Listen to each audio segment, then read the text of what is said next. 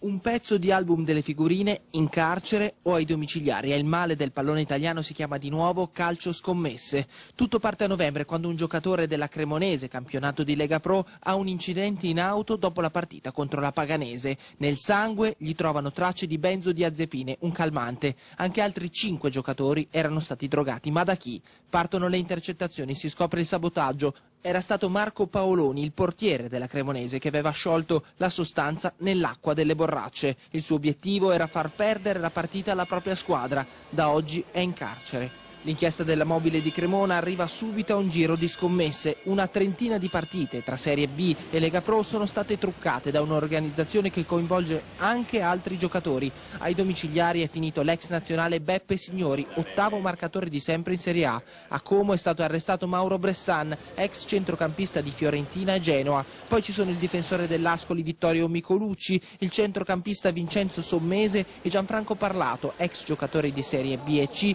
ora collaboratore giocatore del Viareggio, ma tra gli indagati a piede libero c'è anche il giocatore Stefano Bettarini, ex marito di Simona Ventura, in passato già coinvolto in un'inchiesta simile. Oltre a lui anche il capitano dell'Atalanta Cristiano Doni. Sono 16 gli arrestati, 28 le persone indagate. Per il giudice Guido Salvini costituivano un'associazione soldi, truffando lo sport.